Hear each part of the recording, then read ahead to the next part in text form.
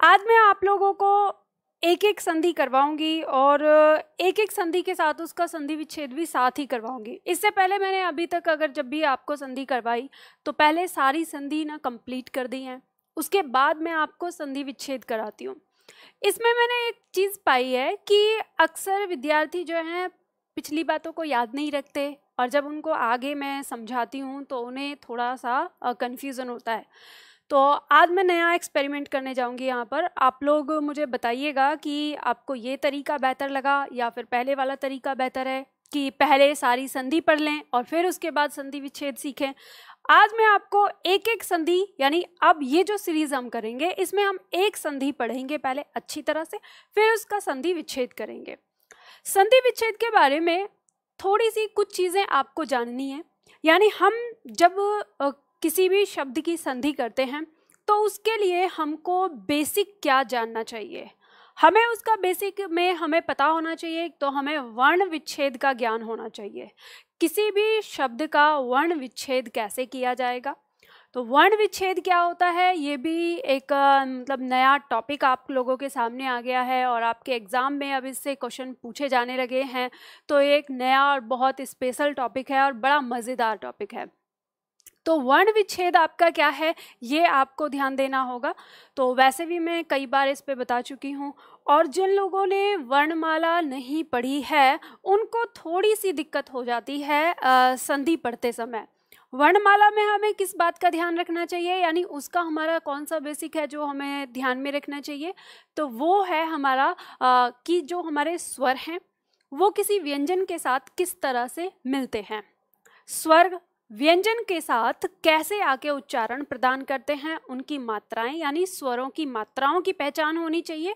अगर किसी व्यंजन पर कोई मात्रा लगी हुई है तो हमें ये पता होना चाहिए कि इसका वास्तविक रूप क्या होगा। अगर हमें इतनी नॉलेज है तो फिर हम संधि आसानी से कर पाते हैं, क्योंकि जो संधि है, वो शब्द निर्माण का एक पार्ट है। या हम कहें कि जब हम शब्द निर्माण पढ़ते हैं तो शब्द निर्माण के अंदर संधि पहला भाग कहें या पहला पार्ट करें, जो भी हम इसे कह सकते हैं। शब्द निर्माण चार प्रकार से होता है, जिसमें हम संधि, समास, उपसर्ग और प्रत्यय। इनका प्रयोग करते हैं तो संधि उसी का भाग है। और शब्द निर्माण क्या होता है? शब्द निर्माण होता है जब हम वर्णों को एक जगह रखते हैं एक जगह रखने के बाद उनमें सार्थक अर्थ प्रदान करते हैं यानी या, या फिर उनमें सार्थक अर्थ आ जाए वो ही हमारा शब्द निर्माण कहलाता है। तो पहले हम वर्ण पढ़ते हैं फिर वर्ण के तुरंत बाद हम शब्द निर्माण पढ़ते हैं उसी का हिस्सा है हमारी संधि। सभी लोग आ चुके हैं हम लोग शुरू करते हैं तो शुरुआत करेंगे समझते हुए। ध्यान दीजिएगा, आपको मैं कोई भी चीज़ जब पढ़ाती हूँ तो आपको पहले ही ये फोकस कराती हूँ कि आपको अपनी परिभाषा पर ही फोकस करना है। यानी आपको जो परिभाषा दी है, उससे अलग आपको कभी नहीं जाना। तो सबसे पहले जानेंगे कि संधि की परिभाषा क्या हो सकती है। जल्दी से मुझे कमेंट करके आप लोग बताइए, आप क्या समझते हैं? यानी संधि से आप क्या समझते हैं या संधि की परिभाषा आप क्या लेते हैं? तो जल्दी से फटाफट से बताइए। तब तक मैं आप लोगों की एक दो कमेंट देखती हूँ। जल्दी से मुझे बताइए कि आप संधि की परिभाषा के अंदर क्या लेते हैं। Very nice nice. आप टेट की तैयारी कब कब तक वीडियो बनाओगी? मणिपाल कह रहे हैं ये, देखो मणिपाल, ऐसे अलग एग्ज़ाम्स के नाम से मैं तैयारी नहीं कराती, मैं कॉमन तैयारी कराती हूँ। अगर मैं आपको एग्ज़ाम के नाम पर कोई चीज़ बताऊँ या ये कहूँ कि ये टेट का है, ये सी टेट का है, ये यू पी एस आई का है ये एम पी एस आई का है, अगर इस तरीके से मैं आपको अलग अलग क्लासेस दूँ या ये सारी चीज़ें तो ये सिर्फ़ और सिर्फ़ ना एक छलावा है और कुछ नहीं है।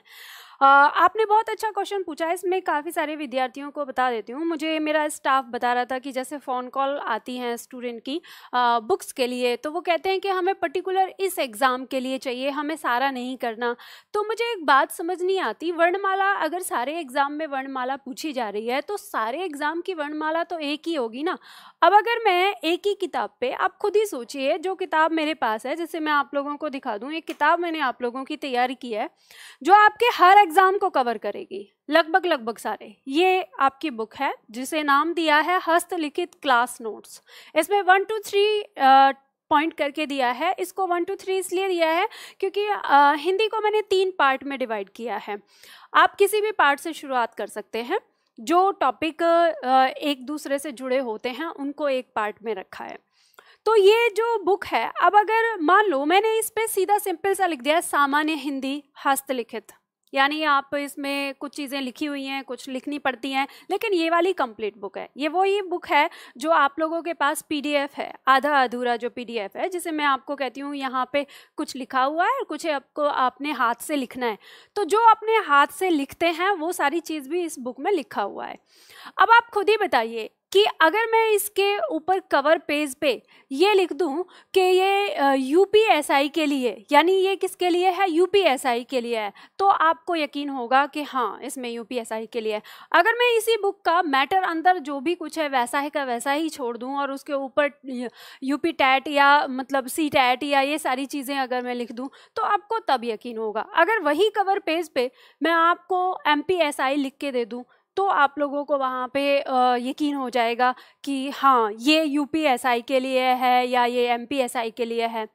तो इस तरह के दिखावे में और इस तरह के छलावे में आप लोग मत आइए। कई बार मुझे बहुत लोग ये सलाह देते हैं कि निधि आप बहुत ज़्यादा सच्चाई को लेके चलती हैं, क्यों समझाने की कोशिश करती हैं स्टूडेंट को? एक ही बुक से दो बार पैसे लिए जा सकते हैं उनको स्टूडेंट को ऐसे कह के कि ये इस एग्ज़ाम का है, ये उस एग्ज़ाम का है। लेकिन फिर भी देखिए, मैं एकदम सच्चाई आपको बताती हूँ। अगर आपको कोई शिक्षक ये ना समझा सके कि ये जो आप पढ़ रहे हैं, ये आपके किस किस एग्ज़ाम में आपके लिए यूज़ टू रहेगा तो फिर वो शिक्षक नहीं है। मैं आपको बार बार एक ही बात कहूँगी। कोई भी टॉपिक है जो आप पढ़ते हैं, आपका जैसे वर्णमाला है या फिर जैसे संधि है, आज मैं जो संधि आपको पढ़ाऊँगी, आप ये बताइए कि आज हम जो संधि पढ़ने वाले हैं, अब चाहे ये यूपी एस आई में हो, चाहे यूपी ट्रिपल एस सी में हो, चाहे ये मध्य प्रदेश यानी जो एस आई होता है एमपी का एस आई होता है या एमपी का पीसीएस होता है या टैट होता है या सी टैट होता है, आप सभी बताइए, क्या सब में संधि अलग अलग होता है क्या? नहीं ना, सबका संधि एक ही होता है ना? तो आ, अगर मैं यहाँ पे आपको कॉमन संधि कह के पढ़ाऊँगी तो क्या आप लोग अपने अपने एग्ज़ाम के लिए उसे तैयार नहीं कर सकते? जिसको एसआई देना है, वो एसआई के लिए, जिसको ट्रिपल एस का देना है, वो ट्रिपल एस के लिए, जिसे टैट का देना है सी टैट का देना है, या किसी और एग्ज़ाम का देना है। तो आप समझ गए ना? बात को आप समझिए। रोज रोज मैं एक इसी तरह के क्वेश्चन को फेस करती हूँ। कि आप एग्ज़ाम्स के पीछे पड़े रहते हैं एग्ज़ाम के नाम के पीछे पड़े रहते हैं। आप जड़ में जाइए आपको क्या चाहिए? आपको जो चाहिए आप वो चीज़ लीजिए। अब एग्ज़ाम तो आपको देने ही हैं सारे।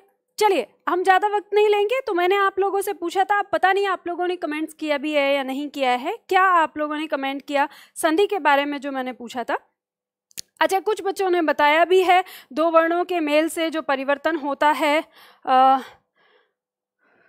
एक ही विद्यार्थी ने कई बार ये रिपीट किया है, और तो किसी ने बताया नहीं है, शायद आगे बताया भी हो तो दिख नहीं रहा इसमें। ओके, ठीक है, आप लोगों ने कहा कि दो वर्णों के मेल से। चलिए, मैं यहीं पे आपकी ये जो बात है, दो वर्णों के मेल की जो हमने बात करी है यहाँ पे, हम इसी चीज़ को देखते हैं। अब मुझे ये बताइए कि क्या आपने जो ये वाली बात कही, हम, हालाँकि मेरा इसमें, इस परिभाषा को लेके कोई विवाद खड़ा करना नहीं है बट मैं आप लोगों को ये बात समझाना चाहती हूँ कि ये परिभाषा जो है ना, ये शॉर्ट रूप है। और शॉर्ट रूप में इसको समझना है कि यानी दो वर्णों के मेल से नहीं होता, किन्हीं दो शब्दों के दो वर्णों के मेल से, हम ये कह सकते हैं, तब ये पूरी होगी। यानी अगर दो वर्णों की बात करें, मान लो अगर यहाँ पे हमने एक क लिख दिया और यहाँ पर अ लिख दिया इन लोगों का, इनका मेल हुआ तो क्या ये संधि कहलाएगा? नहीं, ये संधि नहीं कहलाएगा। अब आप जड़ से समझने की कोशिश करिएगा। लास्ट में मैं ये नहीं सुनूं कि बाद में आप एक एक शब्द मेरे सामने लेके आ रहे हैं और कह रहे हैं, इसमें कौन सी संधि है?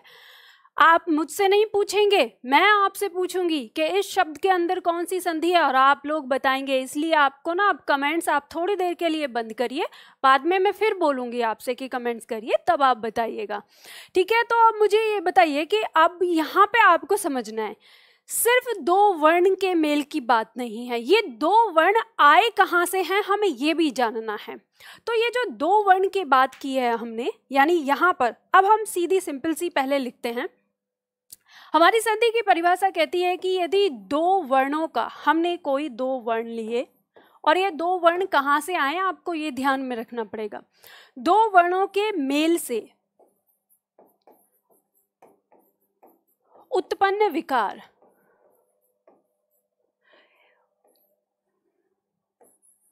ये जो उत्पन्न विकार है, और इस विकार का मतलब होता है परिवर्तन, ठीक है? परिवर्तन मतलब जो बदला हुआ रूप है। अब आपको संधि की इस बात को इस परिभाषा पे फोकस करना है। भले ही मैं बार बार एक ही चीज़ पे जा जिस पे स्ट्रेस दे रही हूँ ना, उसी को समझने की कोशिश करना। तो सबसे पहले संधि मतलब परिवर्तन। ये बात अपने दिमाग में समझ लीजिए। अगर परिवर्तन हो रहा है तो उसमें संधि है और अगर परिवर्तन नहीं हो रहा है तो उस शब्द के अंदर कोई संधि नहीं होगी। ये बात अच्छी तरह से समझ लीजिएगा। अगर परिवर्तन दिखाई देगा, तभी संधि होगी। अब बात करते हैं, ये जो हमारे दो वर्ण कह रहा है, ये दो वर्ण आए कहाँ से हैं? ये दो वर्ण आते हैं दो शब्दों से। दो सार्थक शब्द। ठीक है? ध्यान दीजिएगा। दो सार्थक शब्द उनके वर्ण लेते हैं और तब संधि करते हैं। तो उनके वर्ण कैसे होते हैं? तो एक फॉर्मूला आपको लिखना है। ये परिभाषा आपके दिमाग में है, नोट डाउन करना चाहते हैं आप, नोट डाउन कर लेना। तो ये तो आपको याद ही है। अब मैं आपको ना वो फॉर्मूला बताती हूँ, जिस फॉर्मूले को आपको परिभाषा के बाद याद रखना है अपने दिमाग में। तो ये जो फॉर्मूला है, ये क्या है? इसके अंदर आता है प्रथम शब्द, हमारे सामने जो प्रथम शब्द है, प्रथम शब्द का अंतिम वर्ण। अब उस रहस्य को बता रही हूँ, जो दो वर्णों की बात करते हैं, वो दो वर्ण होते कौन कौन से हैं? तो प्रथम शब्द का अंतिम वर्ण किसके साथ मेल करता है? द्वितीय द्वितीय वर्ण का प्रथम वर्ण। ये है आपकी संधि का ये फॉर्मूला ठीक है? प्रथम शब्द का, अब आपको यहाँ पे ध्यान देना है, प्रथम शब्द का अंतिम वर्ण। जब भी मैं कभी आगे आपसे कहूँगी कि अंतिम वर्ण कौन सा है तो अंतिम वर्ण में आपको ना प्रथम वर्ण, प्रथम जो शब्द है, उसका अंतिम वर्ण बताना है। और जब मैं कहूँगी कि प्रथम वर्ण कौन सा है तो द्वितीय शब्द का प्रथम वर्ण आपको बताना है। जब हम इन दोनों का मेल करते हैं तो यहीं पर विकार उत्पन्न होता है। यहीं पर वो विकार उत्पन्न होता है। जो भी परिवर्तन आएगा, जो भी, चाहे वो हमारी कौन सी भी संधि हो, स्वर संधि हो, व्यंजन संधि हो, विसर्ग संधि हो या कोई भी संधि, ठीक है? तो जो भी विकार यहाँ पर आएगा, वही हमारी, यानी फिर ये प्रोसेस हमारी क्या कहलाएगी? संधि कहलाएगी। अगर यहाँ विकार उत्पन्न नहीं हुआ दो वर्णों के आपस में मिलने से अगर यहाँ कोई विकार उत्पन्न नहीं होता है तो फिर इसके अंदर कोई संधि नहीं होगी। ये बात ध्यान रखिएगा। ठीक है? तो यहाँ पे हमें पता चल गया। अब हम इसका एक उदाहरण ले लेते हैं। छोटा सा उदाहरण समझ लेते हैं किस चीज़ को समझने के लिए अंतिम वर्ण और प्रथम वर्ण। ध्यान रखिए, मैंने आपको पहले ही कहा था कि संधि के लिए आपको वर्ण विच्छेद आना चाहिए तो वो वर्ण विच्छेद का ज्ञान आपको इसलिए होना चाहिए ताकि आप उसका अंतिम वर्ण निकाल सकें और प्रथम वर्ण निकाल सकें। ठीक है? चलिए, जैसे हमने बहुत सिंपल, आप कई बार इस चीज़ को पढ़ चुके हैं, मैं वही यहाँ पर उदाहरण ले रही हूँ। एकदम सिंपल जैसे हमने रखा यहाँ पर हिम और यहाँ पर लिया आलय। अब एक बात और मैं आपको बता देती हूँ। काफ़ी सारे कुछ लोग जो होते हैं वो इस उद्देश्य से बैठते हैं कि आ, सामने वाला जो भी बता रहा है वो कुछ ऐसा बताए कुछ ऐसा करे जिस पे मैं आ, कुछ कमियाँ निकाल सकूँ या मैं उसमें कुछ कमी खोज सकूँ। आ, तो वैसे जो स्टूडेंट या वैसे जो लोग हैं तो वो क्या बोलते हैं अक्सर कि ये तो किसी को पता हिम प्लस हो गया हिमालय हो गया। भाई, हमको पता है, सबको पता है। मैं जानती हूँ, मेरे सारे विद्यार्थी इस बात को अच्छी तरह से जानते हैं कि हिम प्लस आलय बराबर हिमालय होता है। इसमें मैं क्या नया बता रही हूँ? तो वो जो मैं नया आपको बताने की कोशिश कर रही हूँ, वो उस चीज़ के लिए बताने की कोशिश कर रही हूँ, जब आगे चल के आप जैसे अत्यधिक जैसी शब्द के अंदर संधि खोजने की कोशिश करते हैं तो वो कहाँ से निकलता है? यानी एकदम सरलतम स्टेप से हमें जटिलतम तक जाना है। अगर हम सीधा सरल सीखते हुए ऊपर चलेंगे तो हमारा इंटरेस्ट भी बनेगा। इसलिए आप कापी पेन लेकर बैठ जाइए और जो मैं यहाँ पर बोलती हूँ वैसा का वैसा करना है। याद रखिए, आज हम यहाँ पर हिंदी नहीं, हिंदी में आने वाला, यानी हिंदी के अंदर छिपा हुआ जो मैथ होता है, उसको पढ़ने जा रहे हैं। मैंने शब्द क्या लिया है? हिंदी में छिपा हुआ मैथ आपको उसी तरह से तैयारी करनी होगी अगर संधि को ज़िंदगी भर के लिए आपको सीखना है। अदरवाइज़ आप आज तक ऐसे ही पढ़ते आए हैं संधि को कि आप संधि के रूल या संधि के नियम को समझने की बजाय आप संधि के जो हज़ार पाँच सौ जो उसके उदाहरण दिए हुए हैं, उन्हीं को रटते रहते हैं। हेम प्लस आलय, छात्र प्लस छात्रावास या जैसे छात्र प्लस आवास, छात्रावास हो गया या नदी प्लस ईस नदीस हो गया। अब इसी तरह से इनको पढ़ते आए हैं। हर एक शब्द को अलग अलग आपको, आप पढ़ते रहें। लेकिन मैं आपको यहाँ सिखाऊँगी कि आपको एक ही दिन पढ़ना है और एक ही दिन पढ़ के पूरा पढ़ना है, ठीक है? चलिए तो यहाँ पे आपको क्या देखना है? बिल्कुल सिंपल लिया। आपको यहाँ पे खोजना है कि हिम का अंतिम वर्ण, और अब आप लोग ना मेरे को जल्दी से हिम का अंतिम वर्ण बता दीजिए फटाफट से। थोड़ी सी देर मेरे साथ तालमेल आप बैठाने की कोशिश करिए। हालाँकि हमारा लाइव 10 सेकंड पीछे चलता है तो मुझे उतना वेट करना पड़ता है। आप लोग मुझे बताइए कि ये जो मैं है यानी जो हिम है, इस हिम का अंतिम वर्ण क्या है? आप क्या मानते हैं कि इसका अंतिम वर्ण क्या होगा? ये जल्दी से आपको बताना है। तब तक मैं इसका प्रथम वर्ण ले लेती हूँ। आप लोग मुझे अंतिम वर्ण बताइए, प्रथम शब्द का, और मैं तब तक द्वितीय शब्द का प्रथम वर्ण लिख लेती हूँ। तो द्वितीय शब्द का प्रथम वर्ण यहाँ पर क्या है? आ है। ठीक है? और अब यहाँ पर हम देखते हैं कि हमारा जो प्रथम शब्द है, इसका अंतिम वर्ण क्या है? और आप लोगों की कमेंट में बिल्कुल इक्वल, मुझे बिल्कुल ये भरोसा था आप लोगों पर कि आप लोग यही कहेंगे, आधे लोग कह रहे हैं मैं, आधे लोग कह रहे हैं अ। ठीक है? तो अब मैं सबसे पहले ये जानना चाहूँगी, जो विद्यार्थी मैं कह रहे हैं, उनको ये अंतिम वर्ण यानी मैं कैसे दिखाई दे रहा है? आप ये बताइए, इससे पहले मैंने वर्णमाला आप लोगों को पढ़ाई है, उसमें आपको बताया है कि हमारा कोई भी जो शब्द होता है, उस शब्द के अंदर हमारे स्वर और व्यंजन आपस में जुड़े होते हैं और कल भी हमने इस चीज़ पर बात करी थी कि हमारा जो एक स्वर है, जिसे हम अ कहते हैं, उसकी कोई मात्रा नहीं होती। तो आपको पता है, और जब उसकी मात्रा नहीं होती तो हम कैसे पहचान करते हैं कि किसी वर्ण में वो लगा है? तो उस वर्ण के नीचे का हलंत हट जाता है। अब आपको पता है, म के नीचे का हलंत हट चुका है। तो आपको ये पता है कि इस म के अंदर दो वर्ण हैं, एक व्यंजन और एक स्वर। तो अंतिम वर्ण क्या हुआ? अंतिम वर्ण अ हुआ ना। अब देखो, जिन भी विद्यार्थियों ने इसका आंसर अ म दिया था, अब सबसे ज़्यादा ये समझ लीजिए कि आपके बेसिक में ना आपके जड़ में बहुत ज़्यादा प्रॉब्लम है। आपको इस बात को समझना पड़ेगा और इसको ध्यान में रखना पड़ेगा। अगर जड़ में प्रॉब्लम है तो फिर संधि सीखना बहुत मुश्किल हो जाएगा।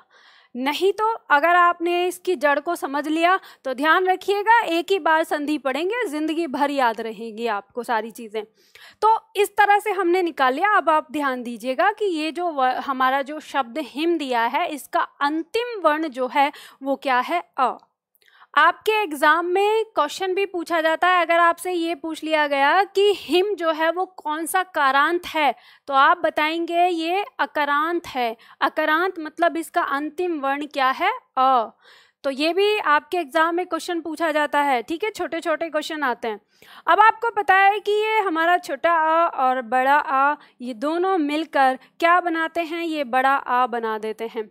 अब जब हमने इसको बाहर निकाला ना तो यहाँ पर जो हमारे पास बाकी जो शब्द बचेगा, वो इतना बचेगा, ये बच जाएगा, बस इतना। और फिर हमने इसको यहाँ पर उतार दिया। शब्द में, यानी ये जो दोनों वर्ण हैं, इन वर्ण ने मिला के यहाँ पर क्या किया? परिवर्तन किया। इसमें क्या हुआ? विकार हुआ। यही विकार क्या है? संधि कहलाएगा। जब यहाँ से निकाला था तो बस इतना बचा था। अब आपको पता है, ये जो अ है, इस म को पूरा कर देगा। अब ये म क्या हो जाएगा? ये पूरा हो जाएगा। म किस तरह से आ लग जाएगा इसके साथ? और बचा हुआ यहाँ पर हमने लिख दिया और बचा हुआ लास्ट में लिख दिया। और इस तरह से आकर ये जो हमारा शब्द बनता है नया, हिमालय, तब ये बनता है, ठीक है? और यही इसके अंदर हमारी क्या है? संधि विधि लगी है। अभी आप ये कहेंगे कि मैम ये ए और आ बन के आ बनाएँ, कब कब आ बनेगा, कब कब बड़ी ई बनेगा तो हमें ये वाली चीज़ अभी नहीं सीखनी। अभी तो हम सिर्फ़ और सिर्फ़ क्या सीख रहे थे? संधि की उस प्रोसेस को सीख रहे थे। संधि की, यानी संधि हमारी होती कैसे है? हमें उसको आगे करना कैसे है? तो ये वाली बात आप लोगों को समझ में आई या नहीं, जल्दी से मुझे बताइए कमेंट करके। इतना आप समझे कि नहीं, कि ये कैसे बनेगा? हम्म।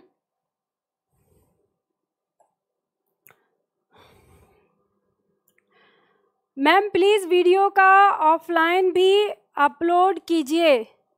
मैं बाद में वाच करूँगी। देखो, संगीता आप जैसे यूट्यूब पर आप देख सकते हैं, बाद में दे सकते हैं, अगर आप लाइव क्लास नहीं देख पाते हैं। और अगर मान लो आप जैसे मेरा जो ऐप है, उसमें अगर देखना चाहते हैं तो आप उसमें भी देख सकते हैं। निधि एकेडमी नाम से मेरा ऐप है तो आप उसे देख सकते हैं। चलिए नीतू सिंह सॉरी सॉरी ए अब अच्छा आपने गलती से मैं लिख दिया होगा। ओके चलिए समझ में आ गया आप लोगों ने यस कहा है आगे बढ़ते हैं अब हम शुरुआत करते हैं। नोट डाउन कर लीजिएगा एक बात बता देती हूँ आपको जब आपके कॉपी पेन आप लेके बैठिएगा वो चीज़ यहाँ पे समझा रही हूँ। अब सबसे पहले महत्वपूर्ण चीज़ आपको एग्ज़ाम के हिसाब से समझनी है। जैसे आ, हमारे बहुत सारे विद्यार्थी होते हैं जो अक्सर इस बात को मुझसे पूछते हैं कि मैम हमको पता है संधि पढ़नी है, लेकिन संधि में कितना कम पढ़ना है, ये वाली चीज़ बता दो। तो आप लोगों को वही चीज़ बता रही हूँ, ध्यान रखिएगा गौर से, गौर करने वाली बात है। संधि आपको परेशान कर सकती है, लेकिन आप स्मार्ट तरीके से संधि को याद कर सकते हैं, ताकि संधि में आने वाले हर क्वेश्चन को आप सॉल्व कर सकें। हम जब बात करते हैं संधि के प्रकार की तो हमें पता है संधि हमारी तीन प्रकार की होती है। आप अच्छी तरह से जानते हैं, इस चीज़ को आपको रटा दिया गया है। बहुत शॉर्ट शॉर्ट शॉर्ट में आपने इन सबको पढ़ा है। कौन कौन सी संधि होती है? स्वर संधि होती है, व्यंजन संधि होती है और विसर्ग संधि होती है। हम जानते हैं स्वर संधि हमारी वो है जो स्वरों के मध्य होती है। या हम कहें कि अंतिम वर्ण और प्रथम वर्ण। दोनों पर ही स्वर होता है। या फिर हम कहें कि स्वर का मेल स्वर के साथ होता है, वही हमारी क्या कहलाती है? स्वर संधि कहलाती है। उसी तरह से हम व्यंजन की बात करें तो व्यंजन का मेल स्वर से या स्वर का मेल व्यंजन से या व्यंजन का मेल व्यंजन से जब होता है तो वो हमारी क्या कहलाती है? व्यंजन संधि कहलाती है। और जब हम बात करें विसर्ग की तो हम कहते हैं कि विसर्ग का मेल किसी स्वर या व्यंजन से जब होता है तो वो हमारी विसर्ग संधि कहलाती है। ये चीज़ आपको पता है, बिल्कुल सिंपल है, इसमें कुछ ऐसा चीज़ नहीं जो आपको जानने वाली हो। अब यहाँ पर समझिए, इसके बाद अब हम यहाँ एक बात ये देखते हैं कि हमारे एग्ज़ाम में पूछा किस तरह से जाता है। तो ध्यान दीजिए, अगर हम अपनी संधि के क्वेश्चन को परसेंटेज में बांटने की कोशिश करें तो हमें पता चलता है कि 70 परसेंट क्वेश्चन हमारे सिर्फ़ और सिर्फ़ स्वर संधि से आते हैं और 30 परसेंट के अंदर हमारी ये दोनों संधि रहती हैं। मोस्ट इंपॉर्टेंट बात है ये आपके लिए। व्यंजन संधि और विसर्ग संधि में जो हमारे एग्ज़ाम में क्वेश्चन आते हैं, वो थर्टी परसेंट ही इनका दायरा रहता है और सत्तर परसेंट हमारे स्वर का रहता है। इसका मतलब हमें ये पता चलता है कि स्वर संधि हमारे लिए मोस्ट इंपॉर्टेंट है। यानी हमें जो फोकस करना है, वो किस चीज़ पे फोकस करना है? स्वर संधि पे ही फोकस करना है। फिर इसके बाद हम बात करते हैं स्वर संधि की। तो स्वर संधि हमारी पाँच प्रकार की होती है। पाँच प्रकार की मानी जाती है। कौन सी? दीर्घ स्वर संधि, गुण स्वर संधि, वृद्धि स्वर संधि, यण स्वर संधि और अयादि स्वर संधि। ये पाँच प्रकार की होती है। और अगर हम इन पाँच प्रकार में भी उस परसेंटेज को देखें कि हमारे एग्ज़ाम में क्या पूछा जाता है तो आप पाते हैं कि दीर्घ स्वर संधि और गुण स्वर संधि इसका जो वज़न होता है, वो सत्तर परसेंट होता है। यानी अगर हम अब इसको स्वर संधि को हंड्रेड परसेंट मान लें तो इसमें सत्तर परसेंट जो क्वेश्चन आपको पूछने दिखने को मिलते हैं, वो दीर्घ संधि और गुण स्वर संधि से दिखने को मिलते हैं। और इसके बाद जो ये तीन बचती हैं, इनमें लगभग हमारा थर्टी परसेंट के आसपास क्वेश्चन हमारे एग्ज़ाम में होते हैं। तो एक दूसरी बात और महत्वपूर्ण हमारे लिए जो समझ में आती है, वो ये आती है कि हमारी जो स्वर संधि की दो संधि हैं, दीर्घ संधि और गुण संधि, ये हमारे लिए बहुत ज़्यादा मोस्ट इंपॉर्टेंट होती हैं मोस्ट मोस्ट इंपॉर्टेंट होती हैं। अब हम यहाँ पे अगर गुण संधि और दीर्घ संधि की बात करें तो ध्यान रखिएगा अगर संधि में सबसे सरलतम सबसे स, आ, मतलब कहते हैं ना सही ढंग से और बहुत आसानी से अगर समझ में आने वाला आने वाली कोई संधि है तो वो आपकी दीर्घ संधि और गुण संधि है। तो इनसे यानी अब अगर हम बात करें तो टफ वाली तो वो ऊपर वाली टफ होती हैं। ठीक? जो हमारे एग्ज़ाम में ना के बराबर आती हैं। पर हमें पढ़नी तो है एग्ज़ाम में आ गई तो दूसरी चीज़, इनका कहाँ महत्व होता है? तो इन बाकी संधि का जो महत्व है, वो हमारा जो वर्तनी शुद्धिकरण या फिर वाक्य शुद्धिकरण की हम बात करें तो वाक्य शुद्धिकरण में भी वर्तनी शुद्धिकरण करके ही जो होता है तो कई बार हमारे ऐसे शब्द हमारे सामने आ जाते हैं। या फिर दूसरा महत्व इनका होता है, जब हम लिखते हैं ना, जब हमारी लेखनी में हम लिख रहे हैं, उस समय जो हमसे गलतियाँ होती हैं बहुत सारे शब्दों को लिखने में तो जब हम संधि को एक बार करते हैं तो हमें वो सारी चीज़ें ना समझ में आ जाती हैं उसमें। और हमारे लिए आसान हो जाती है हिंदी पढ़ना। इसलिए हम बाकी संधि को भी उतना ही महत्व देते हैं। चलिए अब हम शुरू करते हैं। इसके बाद चलिए आप लोग वैसे ना हम्म, बहुत ज़्यादा कमेंट्स करते रहते हैं। पता नहीं मेरी बातों को ध्यान से सुनते भी हैं या नहीं हम्म। चलिए आप लोग तारीफ़ में बहुत अच्छे अच्छे शब्द लिख रहे हैं। आप सभी लोगों को तहे दिल से शुक्रिया। आप लोग मुझे बहुत प्यार करते हैं। इस चीज़ के लिए मैं भगवान का शुक्रिया अदा करती हूँ। आप लोग मुझे पसंद करते हैं, मेरी चीज़ों को पसंद करते हैं, मेरे पढ़ाने के तरीके को पसंद करते हैं।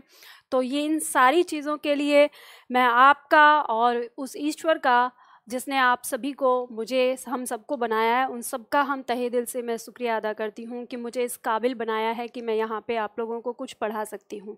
ठीक है? और बस एक बार ना आप थोड़ा सा ध्यान दीजिए। अब हम आगे शुरू करते हैं तो ये वाली बात आप लोगों को समझ में आई कि नहीं? यस या नो बताइए जल्दी से मुझे कमेंट करके कि आपको ये बात समझ में आ गई ना कि किस चीज़ को हमें कितना फोकस करना है। ठीक है? चलिए, आगे देखते हैं, अब शुरुआत करते हैं अपनी स्वर संधि से। स्वर संधि में मैंने यहाँ पे आपके बारे में आ, कुछ लिख दिया है। चलिए वैसे मैं सच बताऊँ ना बीच बीच में जब मैं पढ़ाती हूँ और पढ़ाते समय कमेंट्स देखना ये मेरे लिए बड़ा ही टफ टास्क लगता है। कई बार मैंने महसूस किया इससे पहले जब मैं कभी पढ़ाती थी तो आ, मैं कमेंट आप लोगों की बंद कर देती थी। और सिर्फ़ और सिर्फ़ पढ़ाती थी और आप लोगों से बात नहीं करती थी। तो उस समय बहुत सारे विद्यार्थी नाराज़ रहते थे मुझसे कि, मैम, आप तो सिर्फ़ पढ़ाती हैं, हमसे बात ही नहीं करती। बट सच कहूँ, अब प्रैक्टिस कर रही हूँ ये कोशिश करने की कि मैं आप लोगों की कमेंट्स लेते हुए और उतनी ही ईमानदारी से पूरी फोकस करके पढ़ा भी सकूँ। चलिए तो हम शुरू करते हैं। अब शुरुआत करते हैं। अब ना मैं आप लोगों के कमेंट्स लास्ट में लूँगी। अब हम ना सीरियस होकर पढ़ते हैं। स्वर संधि की बात करते हैं। स्वर संधि में मैंने पहले ही आपको बताया है, ये लिखी हुई है, कॉपी कर लेना इसको, कि स्वर वर्ण के साथ जब स्वर वर्ण का मेल होता है और उससे जो विकार यानी जो परिवर्तन उत्पन्न होता है, उसी को हम क्या कहते हैं? स्वर संधि कहते हैं। स्वर संधि हमारी पाँच प्रकार की हमने अभी पढ़ा, जिसके अंदर दीर्घ स्वर संधि गुण स्वर संधि वृद्धि स्वर संधि यण स्वर संधि और अयाधि स्वर संधि सिर्फ़ आपका नोट्स बनाने के लिए, ताकि आप लोग इसका चाहो तो स्क्रीनशॉट लेके रख सकते हो। नोट्स बनाने के लिए मैंने ये आपको दे दिया है, बाकी तो मैं इसको बता चुकी हूँ। ठीक है? आगे बढ़ते हैं। अब शुरुआत करते हैं सबसे पहले हम अपनी दीर्घ स्वर संधि की। दीर्घ संधि, दीर्घ स्वर संधि हमारी क्या होती है?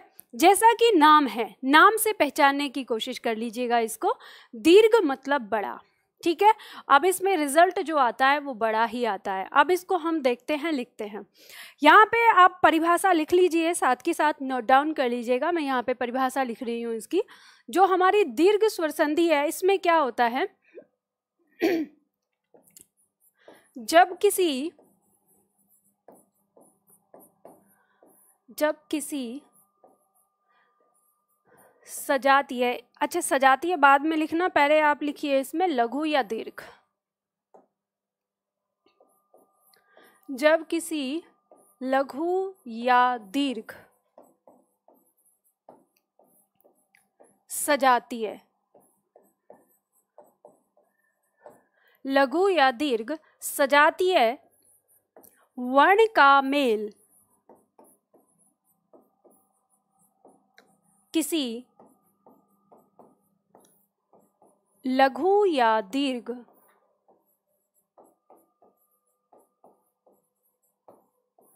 सजाती है।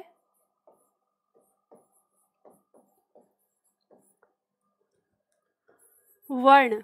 अब यहाँ पे एक बात ध्यान रखिएगा, आप वर्ण के स्थान पर स्वर भी लिख सकते हैं। मैंने सिर्फ़ वर्ण लिख दिया है। आप चाहो तो स्वर भी लिख सकते हो, इसमें कुछ ऐसा नहीं है।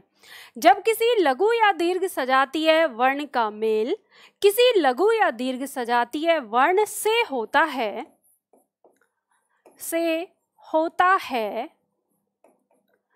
तो उत्पन्न विकार तो उत्पन्न विकार दीर्घ वर्ण होता है। उत्पन्न विकार दीर्घ वर्ण होता है। अब देखो, आपको समझना है परिभाषा को। और उसी को हम क्या कहते हैं? उसी को हम दीर्घ स्वर संधि कह देते हैं।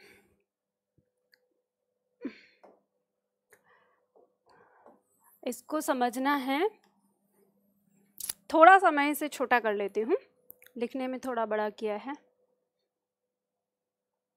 आप लोगों को दिख रहा होगा। चलिए, देखिए, यहाँ पे मैंने आपको बताया, अब इसमें आपको इस चीज़ को समझना है। दो पॉइंट, परिभाषा को समझने के लिए भी हमें ना गौर से उसे देखना पड़ता है। यहाँ लिखा है, लघु या दीर्घ सजातीय वर्ण। और फिर किसी लघु या दीर्घ सजातीय वर्ण से।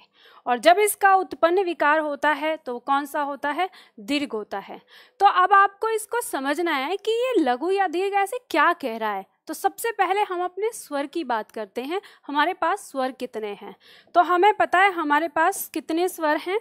ग्यारह स्वर हैं। जब हमने पढ़ा है कौन कौन से? वो हमारे सामने हैं। तो ये हमारे ग्यारह स्वर होते हैं।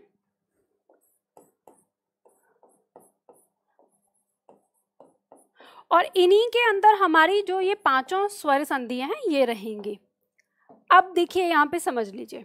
अब बात हमसे करी है लघु या दीर्घ सजातीय सजातीय का मतलब होता है सेम जाति के। सेम जाति के मतलब एक जैसे। तो अब यहाँ पर अगर हम बात करें कि सजातीय हमारे कौन कौन से वर्ण हैं तो हमें यहाँ पता चलता है कि ये तो हमारा इसमें लघु और दीर्घ, एक जोड़ा तो ये हो गया लघु या दीर्घ का, दूसरा जोड़ा ई और ई, ये हो गया हमारा इसके अंदर लघु और दीर्घ है और फिर हमारा ये उ, दूसरा जोड़ा ये हो गया, जिसके अंदर लघु और दीर्घ है। बाकी जो हमारे बचे, इनके अंदर लघु या दीर्घ नहीं होता, ये दीर्घ दीर्घ होता है तो फिर हम इसको इस संधि से, यानी इस श्रेणी से इनको बाहर कर देंगे, जिसमें लघु और दीर्घ नहीं पाया जाता। हमारे सामने जो दीर्घ संधि है, उसके तीन स्टेप आ गए या तीन पॉइंट आ गए, ठीक है? तीन फॉर्मूले। अब इसमें क्या होता है? लघु या दीर्घ जब आपस में मिलते हैं तो उत्पन्न जो विकार है, वो सदैव दीर्घ होता है। ये दोनों आपस में मिलेंगे, उत्पन्न विकार दीर्घ होगा। इन दोनों का दीर्घ क्या है? बड़ा ही है। जब ये दोनों आपस में मिलेंगे तो इनका जो विकार होगा, वो बड़ा होगा। ये आपके एग्ज़ाम के लिए फॉर्मूला बन गया शॉर्ट ट्रिक। ध्यान रखिएगा, विस्तार में पढ़ने के बाद शॉर्ट ट्रिक हम अपने आप निकालते हैं। कोई यूट्यूबर हमें नहीं बताता। जैसे आपने देखा ना यूट्यूब पे आपको ऐसे शॉर्ट लेके आते हैं। दोस्तों, आज मैं आपको बहुत ही शॉर्ट वाली ट्रिक बताने जा रहा हूँ और आप ऐसे करिए, ऐसे होगा तो ऐसे होगा। वो आपको उनकी सुनने की आवश्यकता नहीं है।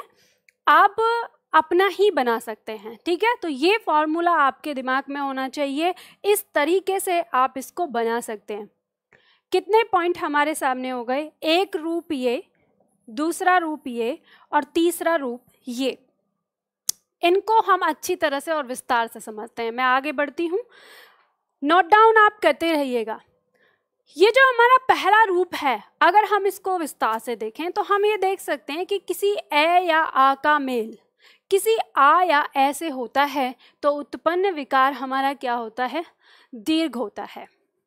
अगर हम इसे और भी विस्तार से लिखना चाहें, यानी हम इसको और भी विस्तृत करें फैला कर देखें, क्या कोई प्रॉब्लम हो रही है नेट में? मुझे कुछ ऐसा ही लग रहा है। अनूप यादव कह रहे हैं, री नहीं होता। देखो अनूप, जो री आपका दिया है, ये, इसका मेल जो होता है, वो संस्कृत संधियों में होता है हिंदी संधि में नहीं होता। आपने ये क्वेश्चन बिल्कुल सही पूछा है। मैंने अक्सर लोगों को देखा है जो क्या है कि हिंदी की संधि में संस्कृत संधि को भी बताते हैं। तो वैसी चीज़ों से बचना चाहिए आपको। आपको ये पता होना चाहिए कि हम यहाँ पर हिंदी व्याकरण पढ़ने आए हैं, ना कि संस्कृत व्याकरण। और जो लोग हिंदी व्याकरण में भी संस्कृत व्याकरण को डाल देते हैं, वो उनको फिर अज्ञानी ने कहा जाए तो फिर और क्या कहा जाए? उन्हें ये बात ही नहीं नहीं पता कि इसके अंदर कौन कौन से रूल लगेंगे, यानी हमारी हिंदी के अंदर कौन कौन से नियम दिए गए हैं। तो हमें हिंदी के नियम पढ़ने चाहिए सिर्फ़, ठीक है? इसलिए ध्यान दीजिएगा। अच्छा ये सतीश कह रहे मूल स्वर कितने होते हैं? सतीश जी, जानते हैं, एक बात क्या होती है? बात ये होती है कि एक कहावत है, एक लोकोक्ति आती है गाँव में गाँव के लोग अक्सर इसको प्रयोग करते हैं, या आपने सुना होगा अपने मम्मी पापा से कहा है कि अंधा गावे, भैरा बजावे, ताल कहाँ से आवे? आप समझे इसको? ये लोकोक्ति है, बोली में आपको इसे बोला है कि अंधा गावे, अंधा गा रहा है और भैरा बजा रहा है, जिसको सुनाई नहीं दे रहा। तो ताल कहाँ से आवे? तो गाने और बजाने की ताल कैसे आएगी? अब या जानते हो मैंने ये कहावत यहाँ पे क्यों बोली है? ये कहावत मैंने यहाँ पे उन विद्यार्थियों के लिए बोली है, जो पता है सामने कि संधि चल रहा है और क्वेश्चन किसी और दूसरे टॉपिक का कर रहे हैं। हम पढ़ रहे हैं कुछ और, आप पूछ रहे हो कुछ और, तालमेल बिगड़ जाएगा। आप अपना तो तालमेल बिगाड़े हुए ही हैं, साथ ही साथ हमारी क्लास का माहौल भी बिगाड़ देते हैं, और भी विद्यार्थियों का तालमेल बिगड़ जाएगा। तो इसीलिए कृपया करके मेरे प्यारे प्यारे विद्यार्थियों अगर आपको कोई दूसरे सब्जेक्ट या दूसरे टॉपिक के बारे में कुछ भी चीज़ जानना है तो वो आप अपने उस कमेंट बॉक्स में लिखिए जो लास्ट में रहता है, ठीक है? लाइव चैट बॉक्स जो अभी चल रहा है, वो अभी की प्रॉब्लम के लिए है, जो हम सामने पढ़ रहे हैं, ठीक है? तो ये चीज़ आप समझिए। तो अब इसको समझिए, मैं आपको कह रही थी कि इसको हमें पूरा विस्तृत और करके देखना है। तो ये हमको क्या कहता है कि यदि किसी छोटे अ का मेल हम किसी छोटे आ से करेंगे, तब भी या हम किसी बड़े आ का मेल किसी बड़े आ से करेंगे, तब भी और या हम किसी छोटे आ का मेल किसी बड़े आ से करें तब भी या फिर किसी बड़े आ का मेल हम किसी छोटे अ से करें, तब भी। यानी इन चारों कंडीशन में से किसी में भी जब भी हम इसका प्रयोग करेंगे, हर बार इसका जो रिज़ल्ट है वो क्या आएगा? दीर्घ आएगा। समझ गए ना आप? यानी ये जो हमारे सामने जो कंडीशन रखी है जो हमने फॉर्मूला लिखा है, ये हमारी शॉर्ट ट्रिक है। याद रखिएगा, ये क्या है हमारी शॉर्ट ट्रिक है। इसका प्रयोग, यानी हम कब करेंगे जब हम इन सारी चीज़ों को समझ लेंगे। अब हमने ये अंदर तक जान लिया। यानी इससे नीचे और कहीं नहीं जाएगा। आपको ये चार कंडीशन मिलेंगी, जहाँ भी मिलेंगी, कहीं पर भी मिलेंगी, ये चार कंडीशन मिलेंगी और आपको ये पता है कि हर बार रिज़ल्ट जो है वो हमारा क्या होगा? दीर्घ ही होगा, बड़ा आ ही आएगा। हम सिर्फ़ एक की बात कर रहे हैं। आप लोगों को समझ में आई ना ये वाली बात? अब हम उदाहरण लेते हैं, अच्छी तरह से उदाहरण को समझने की कोशिश करते हैं। अब देखिए, जैसे हम बात करें, हालाँकि यहाँ पर ना मैंने इसको लिखा है, मैं इसको थोड़ी देर के लिए ना बंद कर देती हूँ। ये क्या आया है? अब यहाँ पे आप समझिए। हमारे सामने दिया है एक शब्द। उदाहरण हमने लिया। शब्द है हमारे सामने महा प्लस आत्मा। मैं जानती हूँ आपने एकदम से इसको कहा होगा कि ये क्या है? महात्मा। ठीक है? मैं अच्छी तरह से जानती हूँ आप लोगों को आता है। आप लोग जो हैं इसको अभ्यास करिए मेरे साथ। अभी ये छोटा करना है। एक विद्यार्थी लिख रहे हैं, मैडम, फास्ट पढ़ाइए।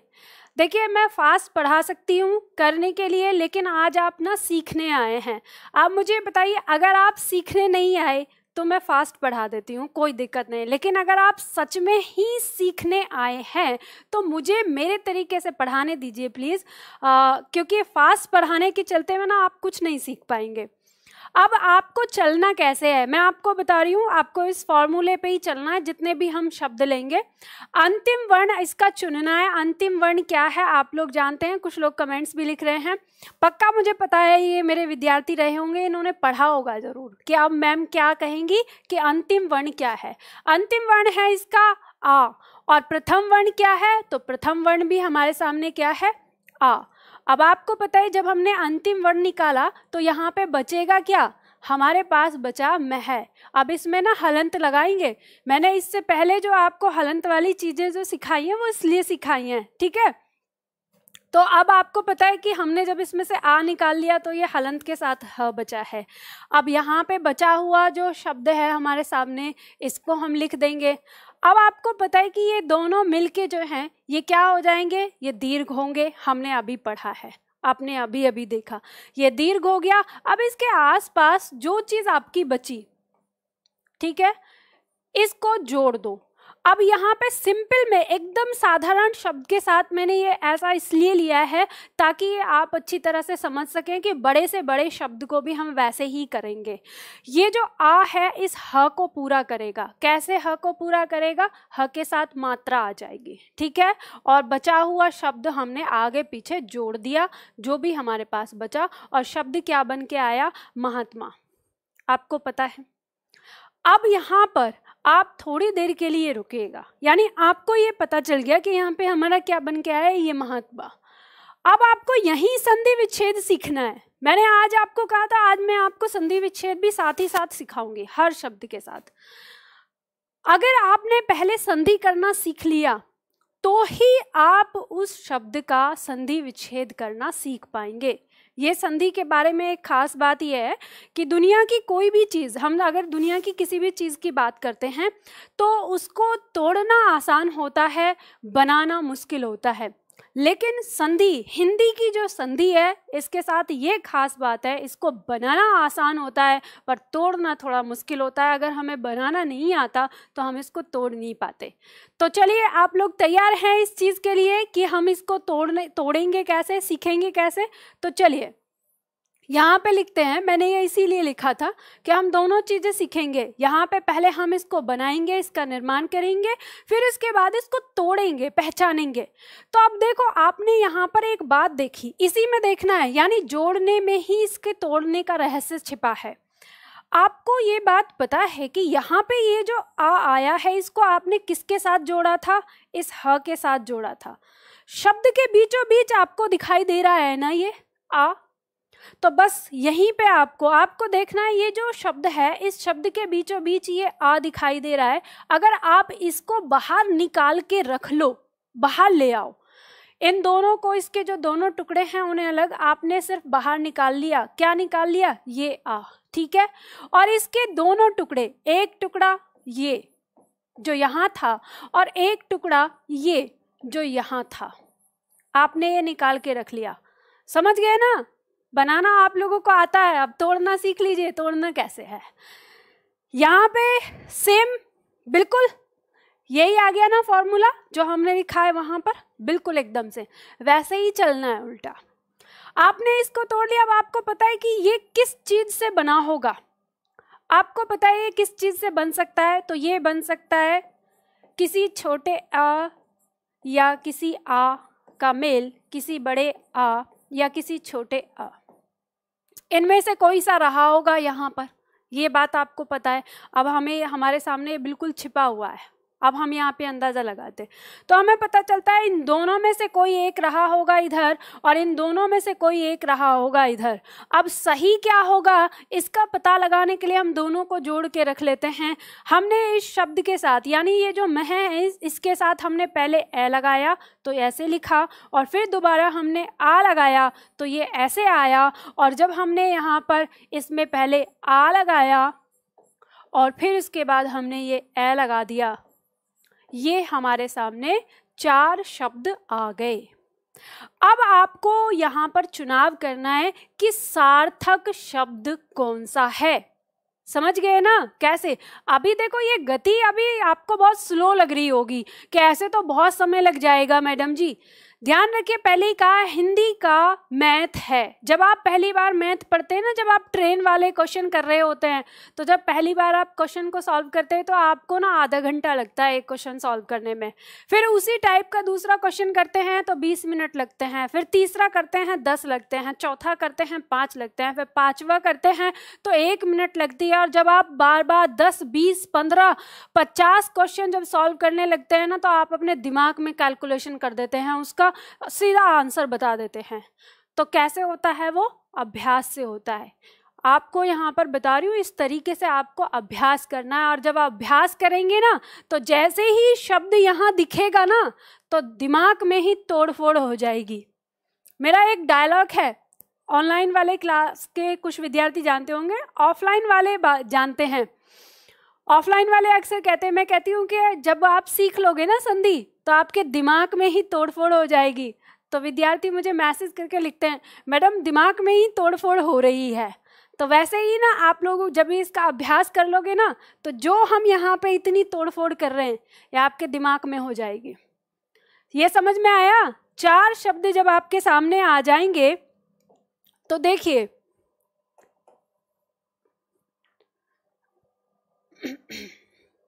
चलिए, यहाँ पे मैं कह रही थी, चल क्यों नहीं रहा बैन इतनी बड़ी मक्खी लगी हुई थी इस पे। अब आपको यहाँ पर क्या देखना है? ये चार जब शब्द आ गए, आपको सार्थक शब्द खोजना है। आपको पता है, मह नाम का कोई शब्द नहीं होता, काट दीजिए। जब आपने ये काटा, आपको पता चलेगा ए नहीं आएगा। क्या आएगा? आ आएगा। क्योंकि आपको पता है, शब्द क्या है सार्थक? महा। महा का मतलब महान। ठीक है? आपको पता है आत्मा और आत्मा? तो आपको पता है कि आत्मा कोई शब्द नहीं है, ठीक है? वर्तनी गलत है। तो ये कट गया। जब ये कट गया तो आपको पता चलेगा यहाँ पे ये नहीं होगा। समझ गए? आपका सार्थक शब्द क्या है? आत्मा। तो आपको पता चलता है महा प्लस आत्मा। यही क्या है? दोनों शब्द मिलकर क्या बनाया था? संधि महात्मा की बनाई थी। इतना सिंपल सा है। मैंने जानबूझ के थोड़ा टाइम लिया है ताकि आप लोग अपना दिमाग लगा सको, सीख सको। चलिए, इसके बाद दूसरा पॉइंट इसकी बात करते हैं। यानी दूसरा पॉइंट आता है। अब मैं थोड़ा सा तेज चलूँगी, अब समझ जाइए आप लोग। ये पहला था समझाने के लिए आपको, जो मैं स्लो लिया मैंने, ठीक है? चलिए अब आप यहाँ पे समझिए, हमने यहाँ पे बात करी, दोनों में से कोई सही या दोनों में से कोई सही आपस में जब मेल करता है, रिज़ल्ट हमारा क्या आता है? हमेशा बड़ा ही आता है। अगर हम इसको खोल कर लिखें और तोड़ कर लिखें तो हमें पता है, अगर हम छोटी ई और छोटी ई का प्रयोग करें, चाहें, चाहे हम छोटी ई का प्रयोग करें किसी बड़ी ई के साथ, चाहें, चाहे हम किसी बड़ी ई का प्रयोग करें किसी छोटी ई के साथ, चाहे हम किसी बड़ी ई का प्रयोग करें किसी बड़ी ई के साथ। ठीक है ना? हम इनमें आपस में किसी को भी जोड़ें। रिज़ल्ट हमारा हर बार क्या आएगा? दीर्घ ही आएगा। क्या आएगा? दीर्घ आएगा। हमको ये पता है, अंदर तक हमने ये बात जान ली। उदाहरण देखते हैं। शब्द हमारे सामने दिया है फिर से मैं इसको यहाँ पर ढक देती हूँ। आपको पता है कि क्या हो गया? कपी प्लस ईस। अभी हमें उस पर ध्यान नहीं देना है। अभी हमें इसको बनाना है। आपको पता ही है हमने कैसे इसको बनाया। चलिए देखिए, जल्दी से देखते हैं। आपको पता है अंतिम स्वर क्या है इसका? अब आपको पता है प के ऊपर छोटी ई की मात्रा है तो अंतिम स्वर क्या है हमारा? छोटी ई होगा। क्या होगा? छोटी ई। और प्रथम स्वर क्या है? हमें दिख रहा है वास्तविक रूप में है अपने तो क्या है? बड़ी ई है। इन दोनों का मेल करा हमने तो हमें पता है किसी का भी करें, छोटी से बड़ी का, बड़ी से छोटी का या छोटी छोटी का या बड़ी बड़ी का, हमेशा हमारा रिज़ल्ट क्या आना है? दीर्घ ही आना है। तो दीर्घ हमारा रिज़ल्ट आ गया यहाँ पर। यहाँ हमारे पास बचा क्या? हमने उतार लिया। जो कुछ भी बचा ज्यों का त्यों उतार लिया। आपको पता है, जब इसमें से ई निकाला तो यहाँ बचा क्या था? ये हलंत के साथ। क्योंकि प में से हमने ई बाहर निकाला था तो जो बचा, उसको हमने यहाँ पर रख लिया। अब आपको पता है, ये जो ई है, इस प को पूरा कर देगा। इस प को इसने पूरा किया, क्योंकि ये बड़ी ई है तो ये इस तरह से लगेगा, इसको ऐसे पूरा करेगा। बचा हुआ शब्द हम यहाँ पर रख देंगे। ये बचा हुआ शब्द हमारे पास, यानी जो कुछ भी बचा है, बचा हुआ अंश, वो यहाँ आ गया, और हमारे पास क्या नया शब्द बन के आया? कपीश। अब कपी माने बंदर ईस माने स्वामी, जो बंदरों का स्वामी है तो कपीस किसका पर्यावाची होता है? हनुमान जी का होता है। हनुमान जी को कहते हैं, लो, हमें एक पर्यावाची और याद हो गया, साथ में। दिमाग को एक्टिव रखिए। सोचिए, ऐसे ही आपको सीखना है। देखो, मुझसे अक्सर आप लोग पूछते हो ना, कि हम कैसे याद करें शब्दावली को? ये तरीका है। जैसे ही शब्द बन के आया, इसका भी हमें अर्थ पता होना चाहिए। इसका भी अर्थ पता होना चाहिए। बन के जो शब्द आ रहा है, उसका भी अर्थ पता होना चाहिए। ठीक है? आगे के लिए हमें याद हो गया। अगर एग्ज़ाम में पूछा जाएगा, कपीस का पर्यावाची बताइए, हम बता देंगे। चलिए, ये आपको समझ में आ गया। संधि विच्छेद साथ की साथ बताइए मुझे। अब आप लोगों को प्रैक्टिस हो गई होगी। ठीक है? जल्दी से बताइए। संधि विच्छेद।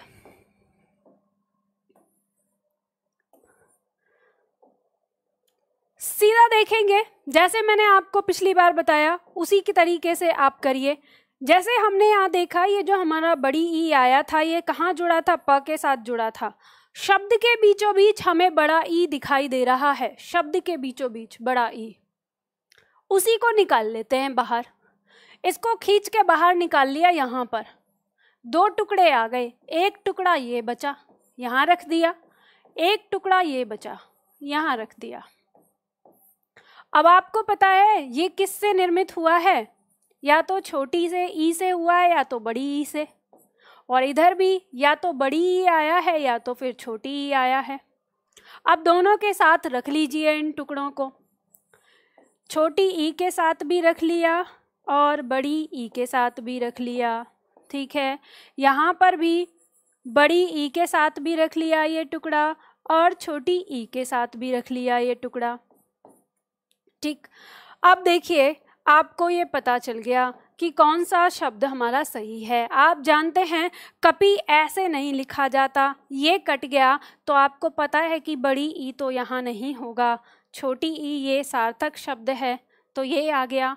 यहाँ पे पता चल गया, ईस ऐसे नहीं लिखा जाता, ये सार्थक नहीं है, वर्तनी गलत है, ये सही होता है तो आपको पता चल गया, ये भी नहीं होगा। आपको पता है, छोटी ई और बड़ी ई के मिलने से बना है ये।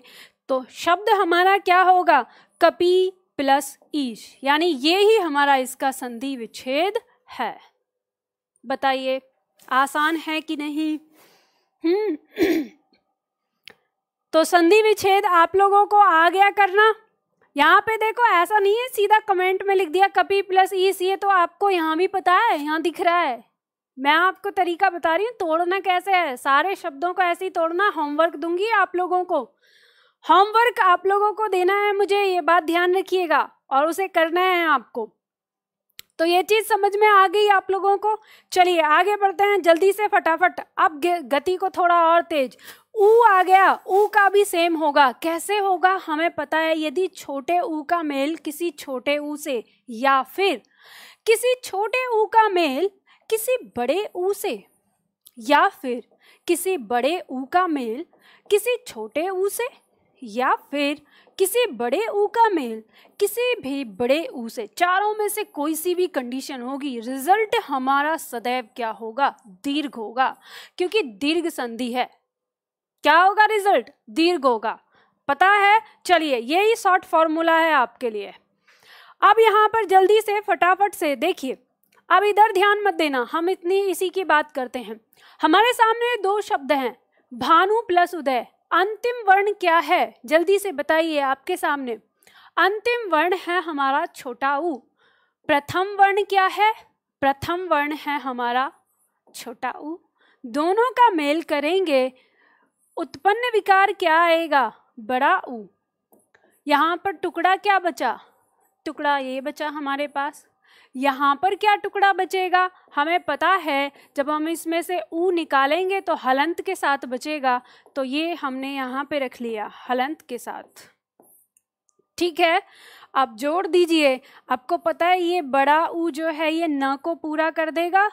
न को पूरा करा, कैसे? इस तरह से बचा हुआ यहाँ पे टुकड़ा आगे लिख दिया हमने, बचा हुआ इधर लिख दिया, जो बचा अब शब्द बन के आ गया हमारे सामने, भानुदय। ठीक है? हमने कुछ नहीं किया, इस प्रोसेस से किया, इस प्रोसेस से ही जाइएगा, हर एक शब्द को आपको निकालना है उसी से। वर्तनी शुद्धिकरण भी यहीं से निकलेगा, संधि भी यहीं से निकलेगा। किसी भी शब्द में कौन सी संधि लगी है, ये सारी चीज़ भी आपकी ऐसे ही निकलेगी, अगर आपने अच्छी तरह से इसको समझा। चलिए देखिए। नेक्स्ट शब्द, अब हम इसमें क्या करेंगे? संधि विच्छेद करना है हमको इसका। तो चलिए, संधि विच्छेद कर लीजिए। आपको पता है यहाँ पर ये जो बड़ा ऊ आया है, कहाँ पे लगा न के साथ? तो हमको ये बात पता है कि ये जो हमारा यहाँ पर न है, इसके साथ लगा हुआ ऊ, ये ही हमारी क्या है? संधि है, यानी यहीं पे विकार उत्पन्न हुआ था। इसी को बाहर निकाल लेंगे खींच कर बाहर निकाल लिया। यहाँ पे हमारे पास टुकड़ा क्या बचा? टुकड़ा हमने यहाँ लिख दिया, ये बचा। यहाँ टुकड़ा क्या बचा, आपको पता है? बताइए, संधि विच्छेद का तरीका आपको समझ में आ रहा है कि नहीं आ रहा है? ये दोनों आपने लिख लिए। अब आपको पता है ये बड़ा बड़ा ऊ जो है, ये किससे निर्मित हुआ है? या तो किसी छोटे ऊ का मेल या तो किसी छोटे, या तो फिर किसी बड़े ऊ का मेल किससे हुआ है? या तो किसी छोटे, या तो फिर किसी बड़े ऊ से मेल हुआ है। आपको ये पता है। चलिए टुकड़ों को सजा दीजिए इसके साथ। अब ये शब्द आपका भानु हो गया और दूसरा टुकड़ा हमने सजाया तो ये भानु हो गया। ठीक है? इधर हम देखें, ये उदय हो गया और इसके साथ लिखें तो उदय हो गया। अब देखिए, आपको सार्थक शब्द पहचानना है। आप जो ये बोलते हैं कि मैडम, ये सार्थक शब्द कैसे होता है? सार्थक शब्द का मतलब होता है जिसको मानक शब्द दिया गया है, यानी जिसको मान्यता प्रदान की गई है, या हम कहें जो शब्द कोश में पाया जाता है, जिसका अपना एक अर्थ निकलता है, जिसकी वर्तनी शुद्ध होती है, उसी को हम क्या कहते हैं? सार्थक शब्द कहते हैं। ठीक है? अब इसमें हम पहचान लेते हैं, आपको पता है, भानु हम ऐसे नहीं लिखते हैं। भानु में हमारे छोटे ऊ की मात्रा आती है तो यही हमारा सार्थक शब्द है, ये हमें मिल गया, हमें पता चलेगा, ये नहीं था। ठीक है? अब यहाँ हम देखते हैं दूसरे में उदय और उदय। तो उदय नहीं लिखा जाता। ये इसकी वर्तनी गलत है। हमारे सामने सार्थक शब्द ये दिया है, हमें पता है। तो ये नहीं होगा। हमें ये पता चला, छोटा ऊ और छोटा ऊ मिलके ये बना था बड़ा ऊ। और हमारी संधि क्या हो गई? भानु प्लस उदय। संधि विच्छेद हमारा ये आ गया। ठीक है? तो इस तरह से होता है। आप लोगों को ये चीज़ पता चल गई होगी। चलिए, अब आप लोग ना तैयार हो जाइए। कुछ अभ्यास करने के लिए। अब आप लोगों को अभ्यास करना है, अभ्यास क्या करना है? देखिए, ये चीज़ समझ में आ गई ना, बहुत सिंपल है, बहुत टाइम लगा लिया मैंने। इतनी छोटी सी बात को समझाने के लिए बहुत टाइम लगाया है। शॉर्ट ट्रिक आ गई आपके सामने। आप जो दुनिया आपको जो बताती है ना, छोटे से टाइम में शॉर्ट ट्रिक भाई छोटे से टाइम में शॉर्ट ट्रिक तभी काम करती है जब आपको लॉन्ग ट्रिक आती है। अगर लॉन्ग ट्रिक नहीं आती ना शॉर्ट ट्रिक कोई काम की नहीं है। आपने निकाल ली अपने आप। आपको पता है, दीर्घ संधि, दीर्घ स्वर ही आएगा हमेशा। जब भी आएगा, आपको पता है, दोनों में से, दोनों में से किसी का मेल होगा, ये आएगा। इनमें से इनका किसी का मेल होगा, ये आएगा। इसमें से इसमें से किसी का मेल होगा, ये आएगा। अभ्यास के दौरान आपने ये देख लिया। अब इसको बना ली शॉर्ट ट्रिक जो आपको एग्ज़ाम से चार दिन पहले मात्र देखनी है। अभ्यास तो अभी करना है। आज और बाद में अभ्यास से, आपके एग्ज़ाम से कितने दिन पहले, चार दिन पहले इसको देख के चले आना। ए, आ, बड़ा, दीर्घ आएगा। ई ई, दीर्घ आएगा। ऊ ऊ दीर्घ आएगा। यही है शॉर्ट ट्रिक अगर इस शॉर्ट ट्रिक को मैं आपको इतना लॉन्ग बताने से पहले, अगर पहले बता देती, आज तो बड़ी अच्छी लगती। आज बहुत मज़ा आता। अरे वाह, निधि मैम, आपने तो एकदम जादू कर दिया। ये हमें ऐसे समझा दिया, ये कर दिया। आज तो बहुत मज़ा आता, लेकिन चार दिन बाद फिर भूल जाते। और फिर कहते कि, मैडम, आपने तो अच्छा बताया था, मैं नहीं पढ़ पाया। मैं कहती हूँ, अगर आपको ऐसे कोई टीचर पढ़ाता है तो वो पढ़ाना नहीं चाहता। वो सिर्फ़ बार बार बार बार आपको अपने पीछे दौड़ाना चाहता है। मैं चाहती हूँ आप एक बार मेरे से पढ़ें और फिर मुझे जब दोबारा शकल दिखाएँ सिलेक्शन लेके ही दिखाएँ। मैं अपने विद्यार्थियों को यही बोलती हूँ, जब मैं एक बार बैच में आप लोगों को पढ़ा दूँ, दूसरी बार मुझे वर्दी में ही दिखने चाहिए मुझे आपसे मिठाई खानी है दूसरी बार। हमेशा स्वागत है आप लोगों का मेरी क्लास में। लेकिन एक बार पढ़ने के लिए बैठिए, दूसरी बार आइए मेरा प्रमोशन करने के लिए। आप जब एक बार आप सिलेक्शन ले लें, एक बार पढ़ने के बाद फिर आप हर रोज़ आइए मेरा प्रमोशन करिए, मैं कभी नहीं आपको मना करूँगी। लेकिन आप पढ़ने के लिए अगर बार बार पलट के मेरे पास आ रहे हैं तो मैं समझती हूँ कि मेरे पढ़ाने में खोट है। आपको मैं समझा नहीं पा रही हूँ, इसीलिए आप बार बार आ रहे हैं।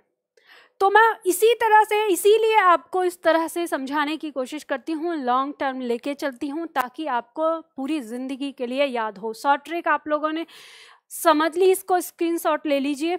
मैं इसे साफ़ कर देती हूँ। स्क्रीनशॉट लेके रख लीजिए। अब ये आ गई आपके पास शॉर्ट ट्रिक आप जल्दी से एग्ज़ाम्पल कुछ करिए। पहला आपके पास दिया है, एक प्लस अंकी, इसका एकांकी मैंने ही दे रखा है आपको। आप कोई स्मार्ट नहीं है। जिन्होंने मुझे बता दिया। अब सुनिए, समझिए आपको क्या करना है। रफ कॉपी आपके पास है या नहीं? अगर नहीं है तो जल्दी से दौड़ कर ले आइए। जिस विधि से मैंने बताया है, उस विधि से करके देखिए। और करके देखिए, मैं आपको यहाँ पर 30 सेकंड का टाइम दे रही हूँ। 30 से एक मिनट का मैं आपको टाइम दूँगी। आपको इसे करके देखना है और मुझे ये बताना है कमेंट करके कि आप इसको सॉल्व करने में सक्सेस हुए या फिर आपको अंकी बिंदी को लेकर कुछ प्रॉब्लम हो रही है। आपको ईमानदारी से बताना है, तब तक मैं आप लोगों के कुछ कमेंट्स पढ़ूँगी। अपना सेल्फ करके देखिए, जल्दी से फटाफट करके मुझे बताइए। ईमानदारी बरतनी है, यहाँ पे किसी को नहीं पता कि आप कौन हैं, कौन नहीं है। आपको मुझे बताना है कि एक एक प्लस अंकी, एकांकी आप इसकी संधि उस विधि से कर पाए या नहीं, जो मैंने पहले बताया, क्योंकि इस तरह के बहुत सारे शब्द आपके सामने आने वाले हैं। उसके साथ ही आपको यहाँ पर यह ध्यान देना है कि छात्र प्लस आवास ये जो आपका दिया है, छात्रावास, अब इसमें आपके सामने सार्थक शब्द दो आएँगे। आप कैसे डिसाइड करेंगे कि आपको छात्र रखना है या छात्रा रखना है? ठीक है? तीसरा आपका जो होमवर्क जो अभी आपको करके मुझे बताना है कमेंट करके, कि गुरु प्लस उपदेश, इसको करके बताइए। ये आप इसको सही कर पाते हैं या नहीं? इसमें भी काफ़ी सारे विद्यार्थियों को प्रॉब्लम होती है। तो ये तीन मैंने आपके सामने दिए हैं। इनको करके देखिए कि आपको तीनों समझ में आ गए या नहीं। अगर तीनों में से किसी में कोई दिक्कत हो रही है तो मुझे अभी बताइए। तब तक मैं आप लोगों की कमेंट्स देखती हूँ। आप लोग क्या बातें बना रहे हैं? चलिए, जल्दी से बताइए।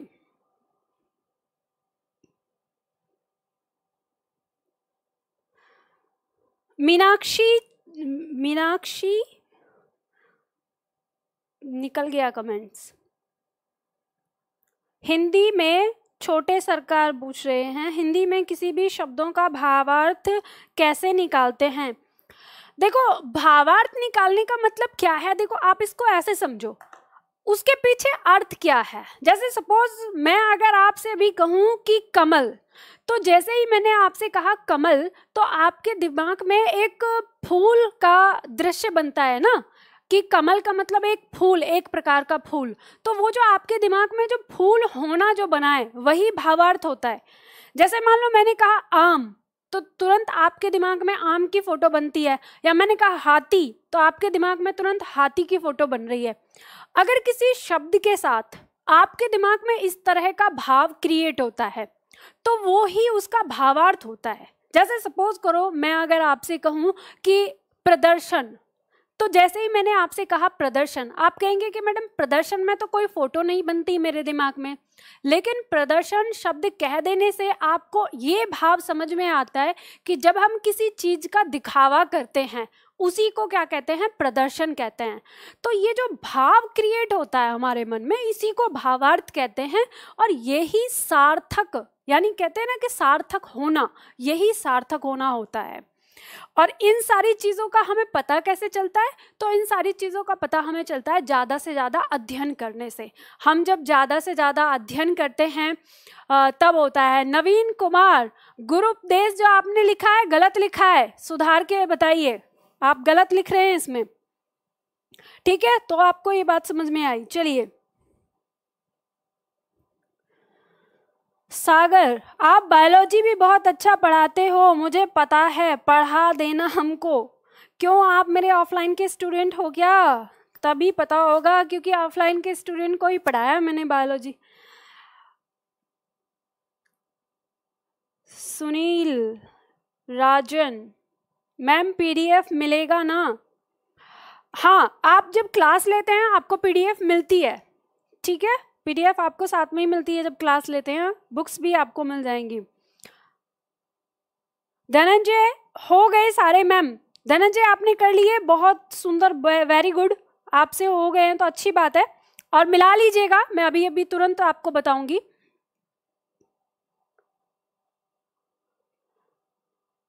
मैम आप सत्ता में हर रोज पढ़ाइए। मैं आ, सत्ता लिखा है या सप्ताह लिखा है? देखो मैं आप लोगों की जो क्लास ले रही हूँ वो मैंने आपको बताया है कि हमारी क्लास जो है वो अल्टरनेटिव डेज़ पे आएगी यानी अड़तालीस घंटे पे। यानी अगर मंडे को हमने पढ़ा है तो फिर हम वेडनेसडे को पढ़ेंगे और फिर हम फ्राइडे को पढ़ेंगे। सप्ताह में तीन दिन मैं आप लोगों को पढ़ाऊँगी। मैं हर रोज़ का प्रॉमिस तो नहीं करती हूँ आप लोगों से। बहुत सारे काम हो जाते हैं मेरे पास काफ़ी सारी चीज़ें हैं। तो इस वजह से मैं आप लोगों को आ, एक दिन छोड़ के एक दिन में पढ़ाऊँगी और उसका टाइम जो है शाम को सात बजे रहेगा। और संडे का दिन जो हमारा फ्री रहेगा उसमें हम कुछ भी बात करेंगे कुछ भी नया टॉपिक अलग भी ले सकते हैं। ठीक है? जल्दी से बताइए आप लोगों ने तो क्या आपने बता दिए? अशोक कुमार मैडम मैं नया छात्र हूँ। बताइए अशोक, कैसा लगा है आपको? आज संधि आपको समझ में आई क्या?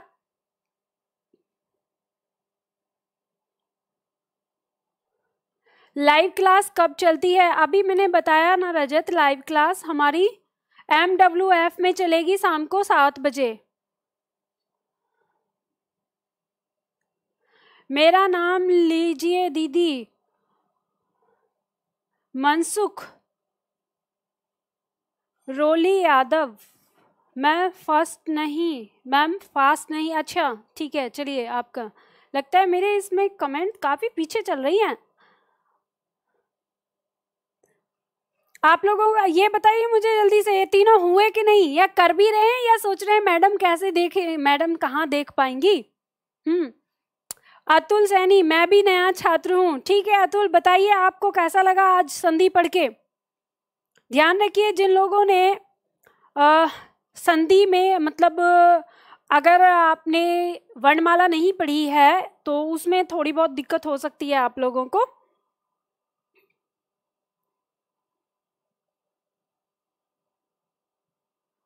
मुकेश कुमार, मैम, क्या मिठाई खिलाऊं? बिहार सरकार अभी मेरा नियोजन लटका के रखी है।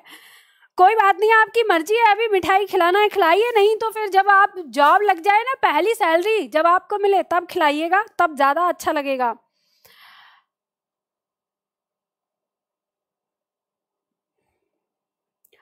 मैम, अंग नहीं समझ में आया। ओके, ठीक है, मुझे पता है। मैम, एकांकी वाला करा दीजिए, निज़ाम खान। ठीक है, मैं कराती हूँ, बिल्कुल, मुझे पता है, आप लोगों को इसमें प्रॉब्लम आएगी। चलिए ठीक है, आप लोगों, अब मैंने आप लोगों को एक मिनट जितना टाइम देना था, दे दिया। आप लोगों को समझ में आ गया होगा। एक और विद्यार्थी ने लिखा है, छात्रा प्लस आवास, छात्रावास होगा। सत्येंद्र बिल्कुल गलत है। ध्यान रखिएगा एग्ज़ाम में ये क्वेश्चन पूछा गया है और बहुत बार पूछा जाता है और इसमें कैसे पूछा जाता है कि छात्रावास का संधि विच्छेद बताइए और आपको दो ऑप्शन में, एक ऑप्शन में छात्र प्लस आवास और दूसरे ऑप्शन में छात्रा प्लस आवास दिया रहता है। बाकी दो और ऑप्शन आप काट देते हैं कि उसमें सार्थक शब्द आपको दिखाई नहीं देगा, लेकिन इन दोनों में आपको सार्थक शब्द दिखाई देते हैं। समस्या फंस जाती है कि कौन सा आंसर लगाएँ।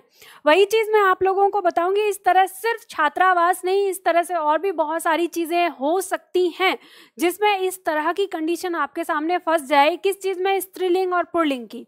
ठीक है? तो वो सारी चीज़ें भी मैं आपको बताऊँगी। चलिए, आप लोगों ने कर लिया होगा। अगर यहाँ पर जिन्होंने कर लिया है, तीनों आपको समझ में आए हैं। बहुत अच्छी बात है। आप बहुत ज़्यादा होशियार हो, आप सीख चुके हो। और अगर जिनको भी यहाँ पे कोई प्रॉब्लम आई है तो ये घबराने की ज़रूरत नहीं है कि हमको नहीं आता। ऐसा नहीं है। बस आपने दिमाग नहीं लगाया थोड़ा सा ध्यान नहीं दिया होगा। आप देखिए, अगर आपको यहाँ पे ना इसने प्रॉब्लम ये किया होगा कि इसका अंतिम वर्ण तो हमने निकाल लिया। अ यहाँ पे आपके दिमाग में ये आया होगा कि इसका अंतिम वर्ण कैसे निकालूं?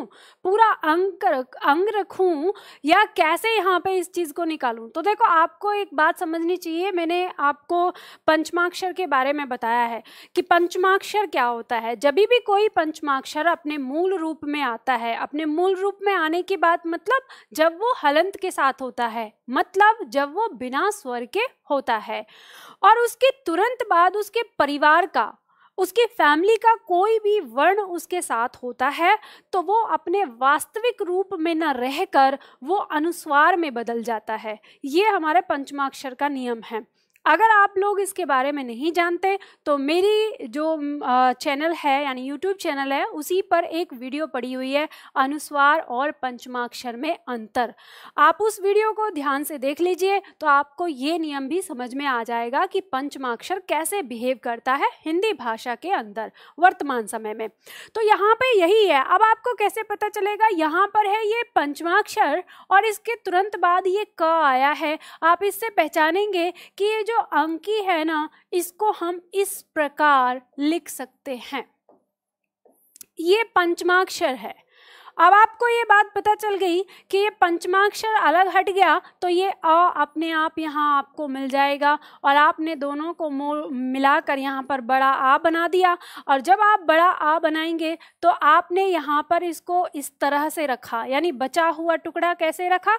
ऐसे रखा और यहाँ पर ये आपके सामने ये बचा हुआ टुकड़ा ऐसे था। आ इस आ ने इस क को पूरा किया। जब आपने यहाँ का इस तरह से लिखा, ये आ गया। अब ये आपके सामने ये ऐसे रखा हुआ था। ठीक है, अब देखिए ये आपके सामने बच के आया। अब यहाँ पर स्थिति बिल्कुल वैसे ही होती है कि ये पंचमाक्षर है, कैसा है, हलंत के साथ है, अपने वास्तविक रूप में है। इसके तुरंत बाद इसके परिवार का व्यक्ति है। तो अब ये पंचमाक्षर यहाँ से उठकर, ठीक है, यहाँ से उठेगा और ये किसमें बदल जाएगा? अंक की बिंदी में बदल जाएगा। ठीक है? अब आप कहेंगे कि मैडम जी, कुछ समझ में नहीं आया। थोड़ा सा दिमाग के ऊपर से गया, हमको कैसे पता चलेगा कि इसमें कौन सी बिंदी है? राइट? आपके दिमाग में ये चीज़ आ सकती है। कैसे पता चलेगा कि यहाँ पे कौन सी बिंदी है? तो आपको टेंशन लेने की ज़रूरत नहीं है। आप फिर ऐसे मत करिए। इसका रूप बदल दीजिए। कैसे रूप बदलना है? ऐसे रूप बदल दीजिए। आपको चाहिए इसमें से अ। तो आप ना इस बिंदी को ऐसे ही यहाँ पे रहने दीजिए और इसको ऐसे रख लीजिए। यानी इसके नीचे से आ निकाल लीजिए बाहर। ऐसे तो निकाल सकते हैं। ऐसा तो नहीं कि ये गिर गिर जाएगा इतनी सी देर में। नहीं गिरेगा, संभल जाएगा। जल्दी से आपको आ दोनों मिला के बड़ा करना है। फिर बाद में क्या करना है? इस पे ऐसे ही टिका देना। जैसे ही क के साथ आ आया, इसके ऊपर इसको टिका देना। आपका शब्द हो गया। ठीक है, अगर ना समझ में आए तो जहाँ पर भी हो। अगर समझ में आ जाता है तो पंचमाक्षर आप पहचान लेते हैं। बहुत आसान है। तो इसमें कोई ऐसी चीज़ नहीं है जो आपको नहीं समझ में आई होगी। अब बताइए मुझे। जल्दी से कमेंट करके बताइए। कोई इसमें आपको ऐसा लगा? बहुत बड़ा था या कुछ ऐसा जो आप नहीं समझ सकते थे? समझ सकते हैं, आसानी से समझ सकते हैं। ठीक है? तो चलिए। आगे देखिए, ये देख लिया आपने। इसके बाद दूसरा, अब इसको समझिए। छात्र प्लस आवास। ये आपका, आपको पता है, अंतिम जो वर्ण है, ये ए है और ये जो है, ये आ है। ये कहानी तो आप समझ गए। आपने यहाँ पे लिख दिया छात्रावास। अब आपके सामने जो यहाँ पे दिक्कत है, वो क्या है? वो ये है कि यहाँ पे आपका छात्रा भी आ गया। और ये अगर आपका आवास इस तरह से दिया हो तो आप अभी देखो, ये दोनों जब भी ऐसे आएँगे तो हमेशा इसका जो बन के आएगा रिज़ल्ट, वो छात्रावास ही आएगा। जब भी आप इन दोनों को बनाएँगे तो छात्रावास आएगा। अब आपके सामने समस्या तब आती है, जब आपको छात्रावास शब्द दिया है और आपसे पूछा गया है कि आपको ये बताना है कि ये संधि किससे हुई है? और ऑप्शन में आपके ये दोनों आ गए। आपका ऑब्जेक्टिव टाइप क्वेश्चन है ऑब्जेक्टिव है तो आपको दोनों में से एक चुनना पड़ेगा, दोनों तो नहीं चुनेंगे। तो फिर वो कौन सा चुने जो आपका सही हो? तो ध्यान दीजिएगा कि हमारा जो समाज है, वो पुरुष प्रधान समाज है, राइट? तो ये बात आपको ध्यान में रखनी है कि क्या हमारा जो समाज है, वो पुरुष प्रधान समाज है। एक इस बात से आप याद रख लीजिए तो हमारा जो पुरलिंग होगा, वही सही होगा। या फिर आप इस बात से अपने दिमाग में रखिए कि जैसे मान लो, सड़क पर कुछ विद्यार्थी खड़े हैं।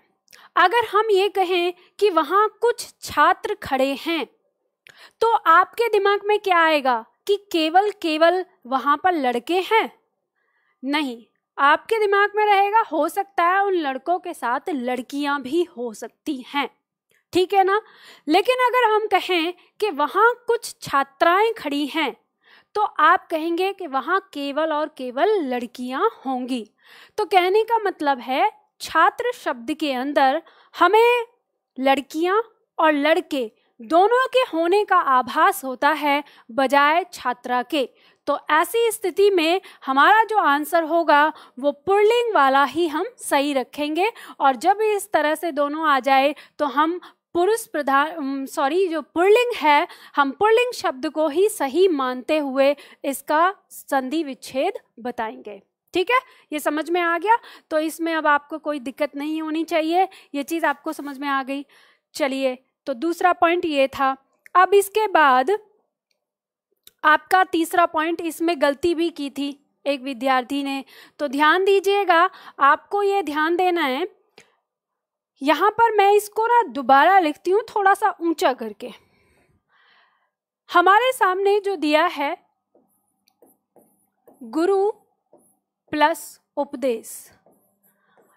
अब आपको सबसे पहले ना एक बात समझनी है। हमारे विद्यार्थियों को ना ये बात नहीं समझ में आती कि र के साथ जो ये ऊ लगा है, ये छोटा है या बड़ा, ये थोड़ी समस्या होती है। यहाँ पे देखो, र के साथ जो ये ऊ लगा है, ये छोटा है। ठीक है? और यहाँ पे छोटा ऊ आया है तो दोनों का मेल करने के बाद ये हमारा क्या हो गया? बड़ा हो गया। अब हम इसको यहाँ पर रखेंगे। तो ये हमारा जो र है, हलंत के साथ आ रहा है और यहाँ पे हमारे पास जो बचा है, वो ये बचा है। ठीक है? अब आपको पता है, ये जो ऊ है, ये र को पूरा करेगा और र को पूरा करेगा तो बड़ा ऊ इस तरह से आएगा। और ये हमारा यहाँ पर बचा हुआ टुकड़ा और ये हमारा बचा हुआ टुकड़ा हमने यहाँ पर लिख दिया और हमारा शब्द जो है वो बन के आ गया ग्रुप देश। सीधा सिंपल सा है। आपके सामने डाउट अब क्या हो रहा होगा? आपके सामने डाउट ये होगा कि मैडम, ये तो हमको पता है कि एक बड़ा है, एक छोटा है, लेकिन जो हमारी मेन समस्या है, वो ये है कि हम पहचान नहीं पाते कि कौन सा छोटा है या कौन सा बड़ा है। हमें जब र के साथ हम ऊ लगाते हैं, देखते हैं तो ये हमेशा ही कन्फ्यूज़न हो जाता है कि कौन सा हम बड़ा रखें और कौन सा हम छोटा रखें। तो आपको ना एक कहानी मैं बता देती हूँ। उस कहानी के साथ आपको ये हमेशा याद रहेगा कि आप इसको किसको छोटा मानेंगे और किसको बड़ा मानेंगे। जैसे मैं इसको मिटा देती हूँ, समझ में आ गया? जैसे बात करते हैं हम, ये हमारा छोटा ऊ ये हमारा बड़ा ऊ आपको पता है इस छोटे ऊ की मात्रा क्या होती है? इसकी मात्रा ये होती है और बड़े ऊ की मात्रा ये होती है, इधर की तरफ़। ये सारी, ये तो आपको पता ही है, ये तो अच्छी तरह से आपको पता है। अब हम बात करते हैं इसका प्रयोग र के साथ। र के साथ छोटे ऊ की मात्रा लगानी है और इस र के साथ हमें बड़े ऊ की मात्रा लगानी है। अब आप यहाँ पे समझिए छोटी सी कहानी से। आपको पता है प्राचीन समय में जो राजा बनता था, वो बड़ा भाई बनता था।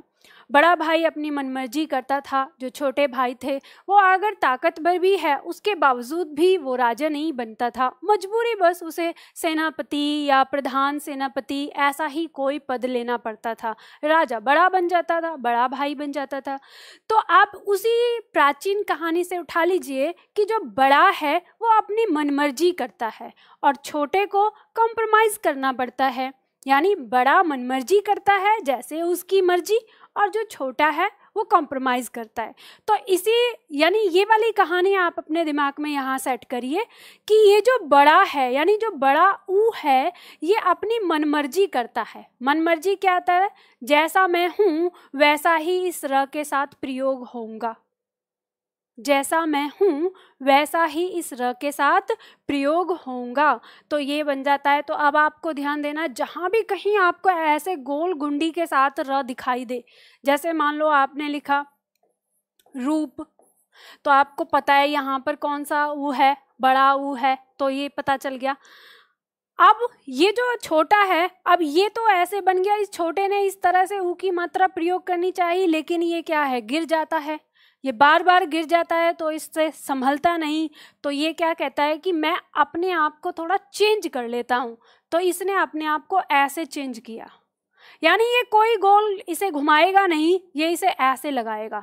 तो कॉम्प्रोमाइज किसने किया है? अपने आप को चेंज किसने किया है? छोटे भाई ने तो आपको पता चलेगा जब आप कोई शब्द लिखते हैं जिसमें ये र इस तरह से लिखा हो या अपनी मात्रा के साथ जो ऊ है चेंज करके आया हो अपने आप को तो वो क्या होगा? छोटा होगा।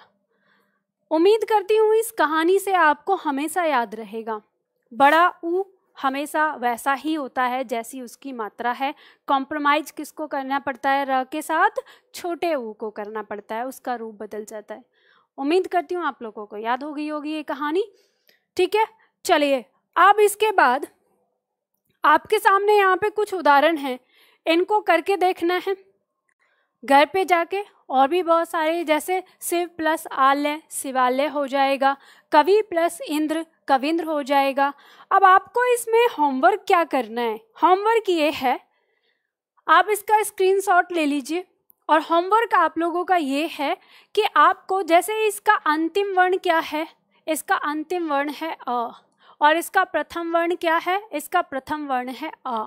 तो आपको क्या करना है? ये जो स्पेस है, इसमें इसका अंतिम वर्ण लिखना है प्लस इसका प्रथम वर्ण लिखना है और बराबर इनसे मिलकर रिज़ल्ट क्या उत्पन्न हुआ, वो आपको यहाँ पर रिज़ल्ट लिखना है। ये आपको अभ्यास करना है इसके साथ। इसी तरह से इसके साथ अंतिम वर्ण इसका, प्रथम वर्ण। अंतिम वर्ण, प्रथम वर्ण। अंतिम वर्ण, प्रथम वर्ण और अंतिम वर्ण, प्रथम वर्ण। इस तरह से आपको इसका अभ्यास करना है और ये आपको अभ्यास करके देखना है कि ये जो आपने लिखा आपका सही आता है या नहीं। अगर इसमें आपको कोई गल कहीं पर गलती लगती है, कहीं आप अटकते हैं, कोई चीज़ आपको समझ में नहीं आती है तो आप फिर मुझे उस चीज़ को बता सकते हैं, ठीक है? तो आज हम इतना ही करते हैं, आज हमारी क्लास काफ़ी हो गई और ध्यान रखिएगा, ये हमारी जो दीर्घ संधि है, यहाँ पर पूरी तरह से कंप्लीट हो गई है। मैं समझती हूँ, आज के बाद दीर्घ संधि को लेकर आपको कहीं कोई प्रॉब्लम नहीं होनी चाहिए। अब आप दुनिया के हर शब्द में दीर्घ संधि को पहचान कर सकते हैं। शॉर्ट ट्रिक भी मैंने आपको समझा दी है, बता दी है। ठीक है तो फिर आज हम अपनी क्लास यहीं पे ख़त्म करें। क्या कहते हैं आप, जल्दी से बताइए, क्या आपको ये बा, ये आज दीर्घ संधि समझ में आई या नहीं? कमेंट करके बताइए।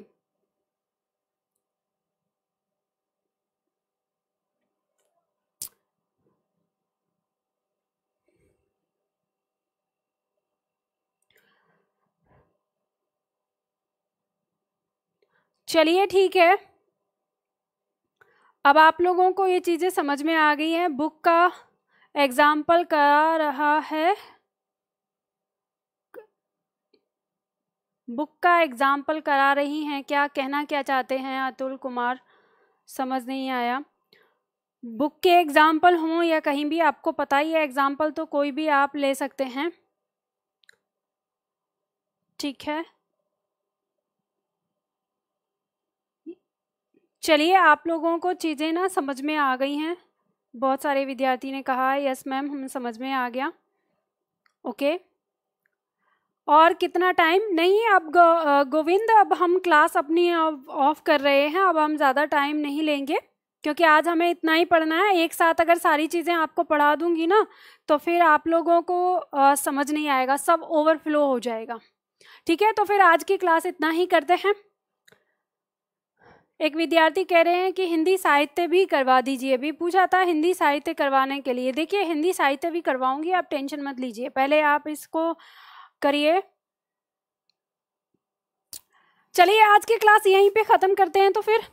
हालाँकि मैं सच बताऊँ ना, मैं, मुझे आप लोगों को पढ़ाना इतना अच्छा लगता है कि जब मैं क्लास ख़त्म करती हूँ ना तो मुझे अच्छा नहीं लगता।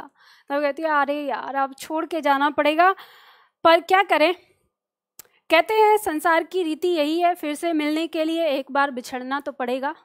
तो चलिए, फिर से यानी परसों, बुधवार के दिन फिर से क्लास करने के लिए अभी हम विदा लेते हैं। Good night bye bye